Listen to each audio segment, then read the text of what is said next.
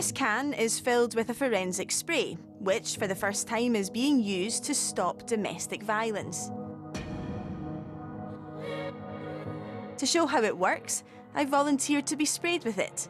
You can't see it with the naked eye, but switch on the UV lights and you'll see I've been marked. For years, this substance has been used to protect property and deter thieves, but now for the first time, it's been used to convict someone for harassment. A man in Wakefield, West Yorkshire, has been jailed for breaching his non-molestation order. He'd been told to stay away from his ex-partner and her house, so when he turned up, she sprayed him with the solution. Three police forces in England have been giving these canisters filled with the SmartWater to victims of domestic abuse, harassment and stalking. And if it's sprayed on a person, then it can put them exactly at the scene of a crime. Each batch of the liquid has a unique formulation. At this lab in Telford, they mix together different chemical elements. And there's more than a billion possible combinations.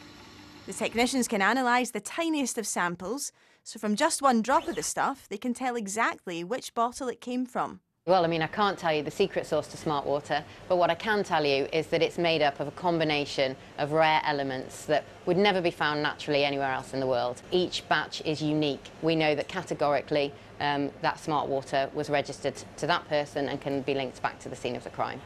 Over 200 women across the UK now have SmartWater in their homes and the majority of them are telling the police that they feel safer as a result of having the tool. They're also saying that their perpetrators are not visiting them anymore. The victims say that they can go out to work and just have peace of mind. Currently, West Yorkshire, South Yorkshire and Staffordshire police forces are using the tech as part of their domestic violence strategy. But it's thought that forensic marking will be trialled by other forces across the country too in the hope of securing more convictions and deterring more crimes. Shona McCallum, BBC News, Wakefield.